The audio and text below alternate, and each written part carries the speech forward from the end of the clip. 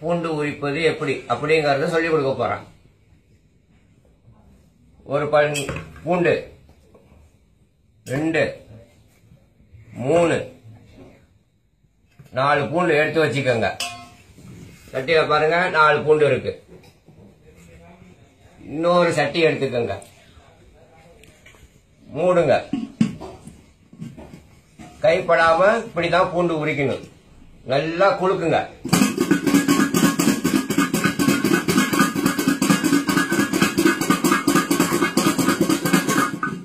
நல்லா குலுக்கணும்.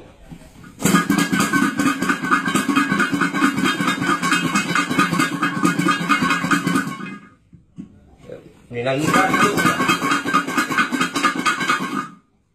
லேசா மோந்து பாருங்க. வாசம் அடிக்கும். வாசம் அடிச்சா பூண்டு உறிஞ்சிருச்சு. இல்ல இன்னும் கொஞ்சம் குளுக்குங்க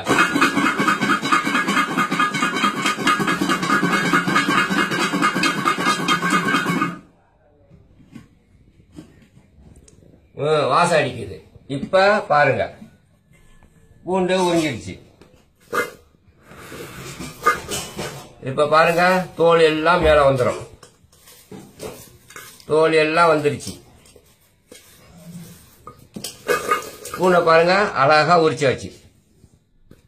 கைப்படாம உரிச்சாச்சு பூண்டு.